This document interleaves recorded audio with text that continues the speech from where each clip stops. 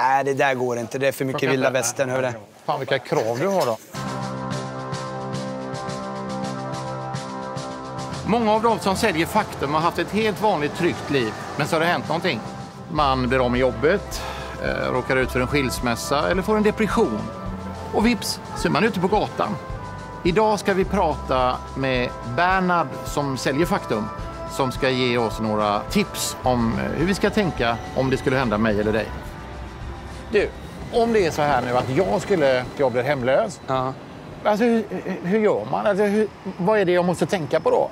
Du måste ju tänka på att ha någonstans att sova över natten. Och om man inte har det så sover man utomhus. Ja, får man göra. Var sover man då? Nej, man kan sova på uh, McDonalds. Det är många som gör tills chefen kommer och slänger ut dem. Och sen är det många som sover i Botaniska och Slottsskogen. Och... I botaniska... Men Ja. om jag skulle gå ut och stå och sälja så får du liksom hjälpa mig. Kan jag se ut så här? Nej, inte om du ska sälja Faktum. Det tror, tror jag blir lite... Det blir nog lite kallt efter ett tag. Alltså. Men vad, vad säger du, ska vi åka och fixa lite kläder till mig då? Ja, men det tycker jag. Får du hjälpa mig med det? Ja, det kan jag göra.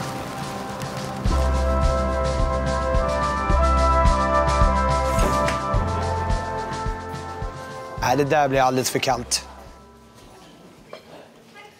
Nej, det där går inte. Det är för mycket vilda västern. Det. Fan vilka krav du har då. Ja, men det där var ju perfekt. Är det bra? Ja, Det är halk... Ja, det är halkskydd. bra. Är det bra? ja det är nog, kan nog vara jäkligt bra. om som- det- Ja, Du gillar det? Det är som en råttfälla på den. Vad konstigt ut där på den bilden. Ser ut som en eh, skummis. Faktum, Ja. Sveriges största gatutidning. Ja. Senaste numret. Senaste numret. Ska vi prova som om du kommer gående? Ja. Ja, gott folk, har ni chansen att köpa Faktum? Jordens största ja men du kan ju inte vara så gå på gatutidning! Du kan ju inte vara så gå på er när du säljer Faktum. Alltså? Nej, det blir för mycket för folk. Då backar folk. 50 spänn? 60. 60 spänn? 60 ligger förlåt, förlåt. har inga pengar. Har du inga pengar? Det går med Swish eller app också annars. Ska du ha en? Ja, ja, ja visst. Men det gör man då. Yes! Man får se hur kalendern ser ut. Ja, det får man göra. Och sen har du den på eh, väggen och så skriver du in här. Aerobic. Jaha, okej. Tack så jättemycket. Ha en trevlig eh, torsdag. Jättegulligt. Du, hur gör du med mat och så? Käkar du här ofta? Eller på Eh, in- härbärget? Inte nu för tiden, men när jag var helt hemlös då var jag här fyra dagar i veckan. I ett Okej. års tid ungefär och käka. Vad socker det fanns där borta. En hel trave. Ja. Många som är hemlösa de äter mycket socker för att hålla energin uppe när du är ute på gator och så hela dagarna till exempel.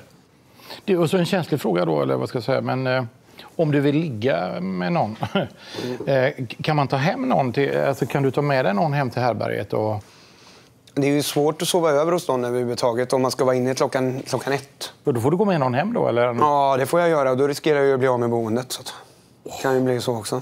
eller så får ni banka i parken. Ja, typ. Du, är det därför det heter uteliggare kanske? Ja, det är mycket möjligt. Ja, så kan det vara. Förlåt. Men okej, summa summarum. Varma skor, jacka, titta folk i ögonen. Inte ropa för mycket som jag gjorde i början. Har jag fått med? Ja. Ja, jag tror det. Så försöka vara trevlig och hövlig mot folk. Det är du. Ja, det brukar funka väldigt bra. Ja, där fick vi lite matnyttiga tips. Och vill du hjälpa någon som hamnat i den här situationen så köper du ett nummer av tidningen Faktum.